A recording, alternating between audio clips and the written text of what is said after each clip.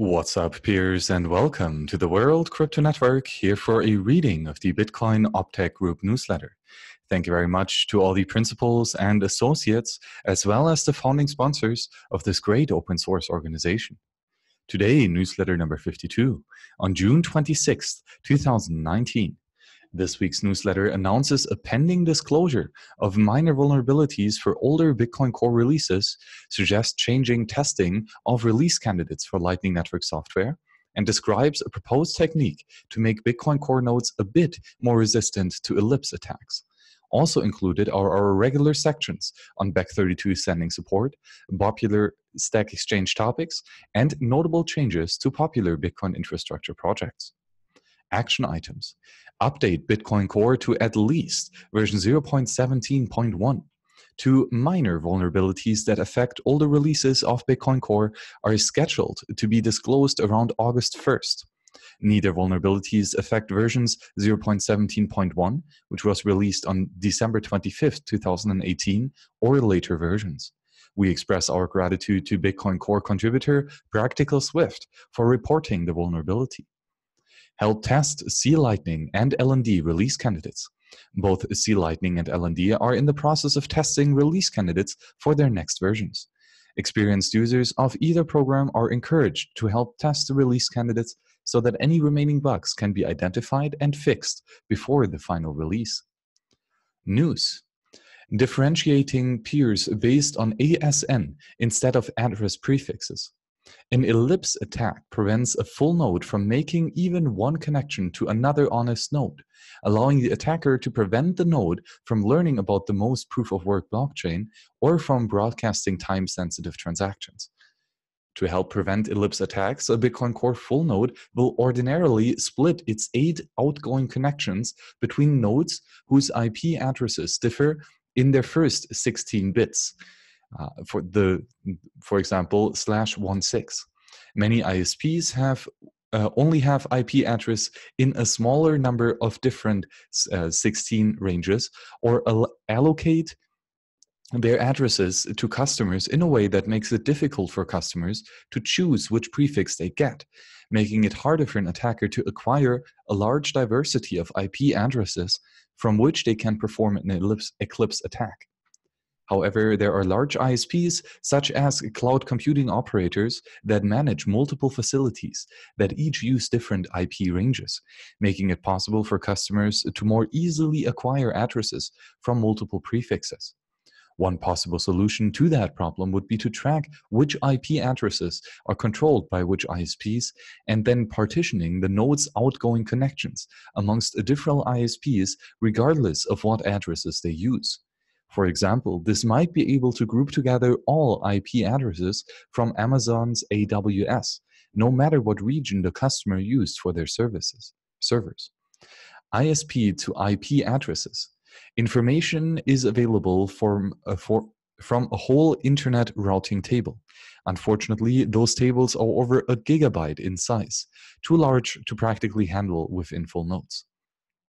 Pieter Wuille has been working on a compact encoding of just the information needed to identify different ISPs by their IP addresses using the ISP's Autonomous System Number, ASN.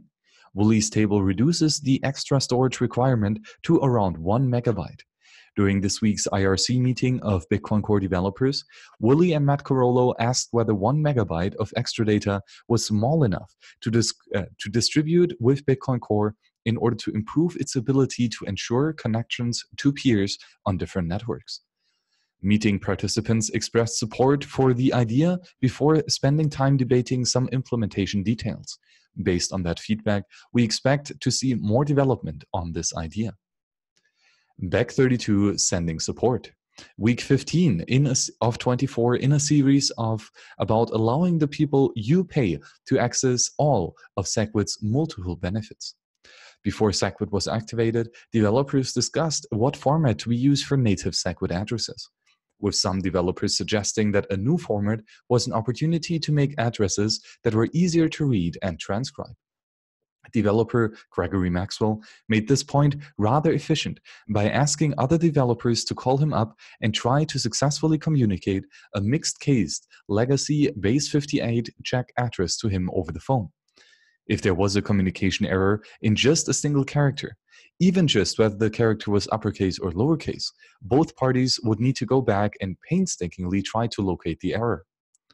But 173 Bech32 addresses were able to resolve both of these concerns. They use only a single case, lowercase preferred most of the time, but uppercase can be used for QR codes uh, for improved efficiency. And they use an error correction code for the checksum so that they can help users locate errors while ensuring typos will be caught an overwhelming percentage of the time. However, as wallets and services consider upgrading to support both Bech32 sending and receiving, we think it's worth reminding any reluctant implementers about this key user benefit feature of Bech32 addresses. So we've automated part of Maxwell's old phone test to allow you to privately uh, evaluate the relative difficulty of transcribing legacy and native SegWit addresses. If you click the following link, open into a new tab, you will find a recording of two addresses paying the same hash value you can type the address into the appropriate box below, which will turn red immediately if you enter a wrong character, case sensitive. Note to help improve accuracy and eliminate problems with locale-specific letter pronunciation, we read each letter in the file using a phonetic alphabet. Uh, for example, alpha stands for A, bravo stands for B, etc and this is a test for you at home. If you uh, want to listen to this reading of the base 58 check and Bech32 addresses, uh, this will take a minute and 33 seconds. And it will show you how the error detection is much more benefit for native SegWit address. If you found the Bech32 address much easier to transcribe accurately, then that means that the design of Bech32 were successful at meeting one of their goals for the new address format. Users who discover this benefit of Bech32 are more likely to want to use Bech32 addresses in situations where they need to read or transcribe addresses. And so they'll be more likely to use your software or service if it supports sending to Bech32 addresses. Selected Q&A from the Bitcoin Stack Exchange. Bitcoin Stack Exchange is one of the first places where Optech contributors look for answers to their questions or when we have a few spare moments of time to help curious or confused users. In this monthly feature, we highlight some of the top voted questions and answers made since our last update. How can I mitigate concerns about the gap limit?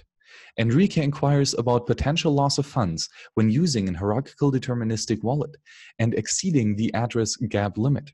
Andrew Chow and Bitcoin Hodler explains that with that while there are no loss of funds when exceeding the gap limit, the limit should be considered when restoring from backup or generating addresses outside of that wallet.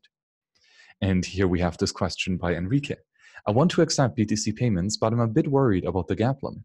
I've read our wallet could miss the funds beyond the gap limit if that happened. But I also read that we could fix that easily increasing the gap limit in Electrum, for example. So I'm a bit confused right now. Is it possible to lose the funds due to gap limit? Or what problem is just something we can fix easily in our wallet changing the settings? And here, this answer by Andrew Chow. You won't ever lose funds due to the gap limit. They don't become lost forever. You can still retrieve them. The gap limit is really only an issue for restoring backups. When restoring a backup, the gap limit is supposed is used by the wallet to know how many addresses to look ahead in order to ensure that all the funds are seen. If the gap limit is too small, then a long string of unused addresses can be can cause the wallet to miss funds at higher, higher index addresses as it does not generate them in restoring the backup. The gap limit is not an issue for normal users. It only affects backup restoration, and when doing such restores, it is easy to just increase the gap limit if you find not all of your funds were seen by the wallet. And then here this comment by the Bitcoin hodler. The gap limit is not only an issue for restoring backups. If his e-commerce software generates 100 consecutive receiving addresses for potential customers that never pay, the gap limit had better be larger than 1000. I'm assuming the addresses are generated outside of Electrum using the xpub. Here, great question. Uh, jumping into the next. How do Bitcoin nodes update the UTXO set when their latest blocks are replaced? Pieter Wuille describes how undo files are used to update the UTXO set after the block reorganization. Jumping into this question by Michal. Let's say Bitcoin node has 100 blocks. Then the receive then he receives another two blocks. Now it has 102 blocks.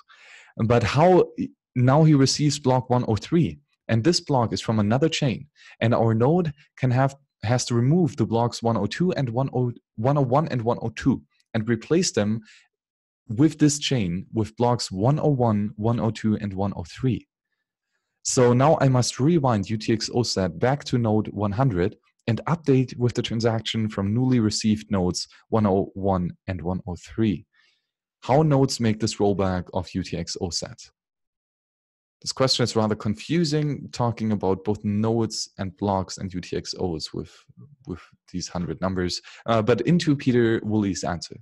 Bitcoin Core, since version 0.8, maintains the undo files that contain the information necessary to undo the effect of a block on the UTXO set.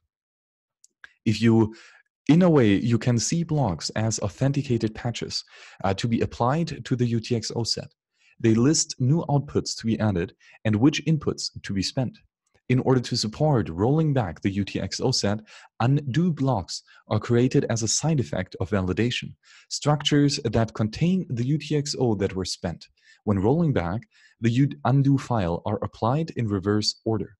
Thanks for this great answer, Peter. Next question. Is there a reason why Bitcoin Core does not implement a BIP39? Andrew Chow explains how Bitcoin Core's current wallet structure plus security concerns about BIP39's use of pay, uh, PBKDF2 produced obstacles against its implementation. This uh, question by K. Alvin Eli by K. C. Elvin Elvin. Is there a specific reason why BIP39 is not added to Bitcoin Core? Seems very trivial to add, and I'm confused why it is not in there and hear this answer by Andrew. BIP39 is not in Bitcoin Core largely for implementation reasons, and because BIP39 is not as secure as it could be. The structure of Bitcoin Core's wallet does not really allow for BIP39 to be implemented. The current structure does not allow for 512-bit seed, as BIP39 specifies.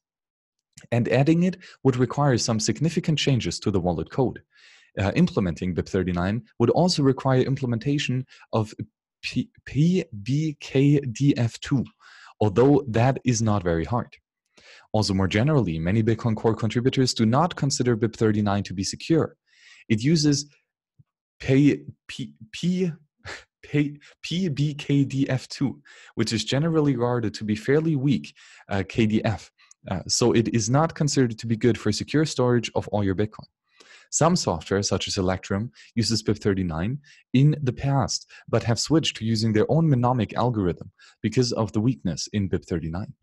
BIP39 mnemonics have some other issues as well, such as versioning numbers, or rather a lack thereof, and use of the field word list.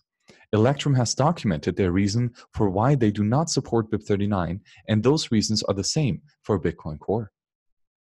Thank you, Andrew, for this answer, and now the next question. Is a signature private key required to accept payments over the Lightning Network? Yuyo Ogawa asks about the possibility of accepting Lightning Network payments without having to keep the private key online. Rene Pickhardt points out that not only does Bolt 11 require signed invoices, but the updating of channels also necessit necessitates signatures and thus private keys. Here, this question um, by Yuyowa and edited by Murch. To one, create an invoice, and two, accept payments in Lightning Network, the node has to be online. But does the node need to sign the creating invoice or to accepting the payment? We do not have private keys online to receiving Bitcoin and on-chain transactions. Rather, we just need to sign the sending transaction with the private key. It would be nice if Lightning Network nodes do not have the private key online for accepting payments. And here this answer by Renee. Yes, invoices are signed according to Bolt 11. One reason we do this is to fight denial of service attacks. It would not have the if I would have to sign my invoice, I could create an invoice for any node. That node would not have the pre-image for that payment hash, and routing to the payment would fail all the time.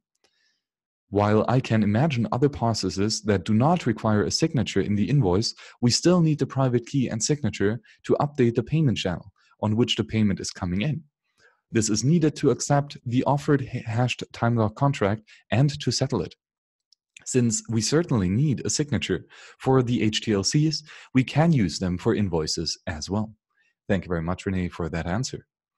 And finally, notable code and documentation changes this week in Bitcoin Core, LND, C Lightning, Eclair, libsecp256k1, and the Bitcoin improvement proposals. This Bitcoin Core change adds the set wallet flags RPC that can be used to toggle flags for the wallet, including a new avoid reuse flag that, when needed, will prevent the wallet from spending Bitcoin receiving received to an address that the wallet has already used for spending. This prevents blockchain analysts from being able to uh, associate multiple spends with the same wallet through spending address reuse, an attack on privacy often exploited using dust attacks. This new flag is disabled by default, but when enabled, it can be combined with the Avoid Partial Spends configuration option described in Newsletter 6 to ensure that all Bitcoins received to the same address so far are spent at the same time ensuring that there are none left over in a balance that would require passing a special option to spend. This Bitcoin Core change causes Bitcoin Core to always bind to the default port when listening on Tor, for example, port 8333 for mainnet, even if it is configured to listen to other ports for normal ClearNet traffic the previous behavior where it listened to uh, on the custom port of all interfaces made it easy to find the ClearNet identity of any Tor node that used a custom Bitcoin port. This Bitcoin core change removes the mempool replacement configuration option. This option configurement uh, configured whether or not the node would accept replacement of transactions into the mempool according to BIP 125 opt-in replaced by fee rules.